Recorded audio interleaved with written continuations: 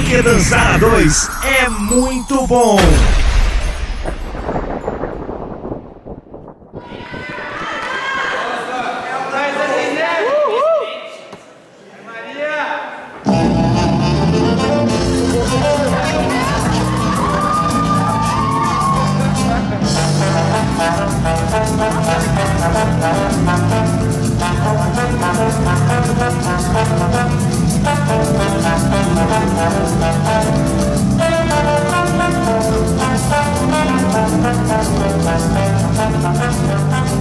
Thank